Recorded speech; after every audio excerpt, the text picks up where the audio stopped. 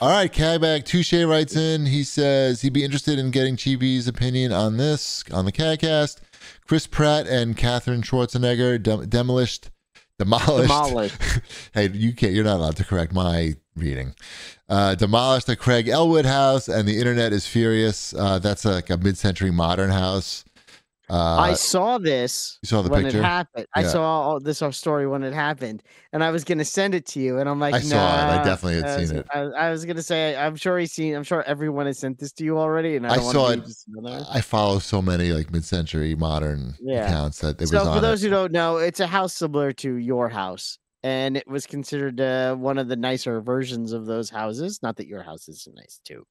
And instead of keeping this pristine artistic house in place, Right. they're demolishing it to turn it into some McMansion that'll probably be ugly because, Right.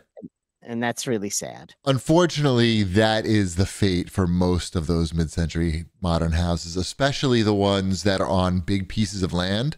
Mhm. because the houses themselves are not physically large. I don't know how the size of that one, um, but it's probably not super large. And the, if the land is, what happens is it becomes worth a lot of money. Like the land is what's what's worth the money there.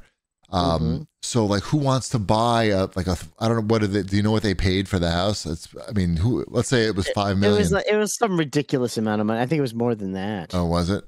yeah. But, well, even let's just say, like, let's say it was like a f- five million dollars or something like that. Like, who wants to to pay that and live in like a, a twenty five hundred square foot house?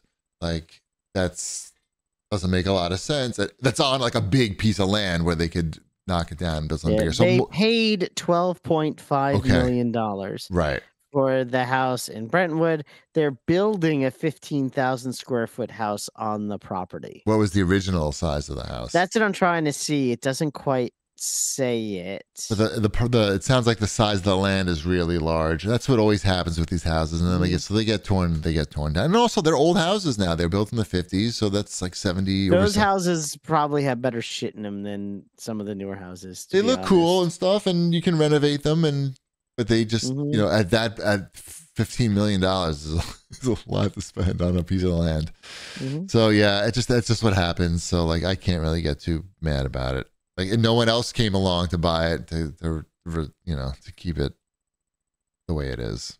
And who's going to at those prices?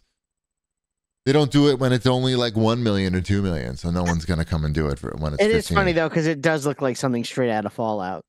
The house? Oh, and Yeah. the, the the first episode was in the, Yeah. the very nice Mhm. mid-century modern house. Yep, it looks straight out of Fallout. It's it's pretty funny. Uh, what else we got here? Oh, the collector writes in and he asks uh, if I checked out Mirrorwatch in Overwatch 2, which I did. It's boring. I don't even know what they're trying to do. They they slightly changed the powers of of the heroes and made them evil, the good people evil. I didn't even know there were good and evil people in Overwatch. Yeah. It's it's not. Whenever like they try to make an event like Fortnite, like Apex does a better job, I feel, but Overwatch does the worst job. I'm not, I mean, I'm not like super educated on Overwatch anymore, but every time I jump in to see when there's an event, it always seems like not up to the standards of of certainly nowhere near what Fortnite does, but not even up to what Apex does with like the the uh, Final Fantasies thing they did. Um, Grim writes in. He says, "I'm getting a little bored of rowing. Have you ever used a fan bike? Thoughts on it? I don't even know what what's a fan bike. A bike that's a big fan instead of It has the, a big fan. Yeah, similar. It would have, a, I guess, a similar feel to like the rower full of water. It would. But have why would kind that be more fun than a rower? I don't know. I didn't write the stupid question. No, why I'm are you asking. giving me the third I'm degree? a- I'm asking. Like you're still sitting there. Okay, you're okay. You know, you're pedaling instead of using your, you know, well, instead of the other mo- the rowing motion. I don't know why that's any less or more fun. Um, why not get one of those like rowers that has the screen on it, like the Peloton? You know, why not just spend like thirty five hundred dollars on a Peloton rower? And know. and then forty five dollars a month on their service. That'll make it interesting.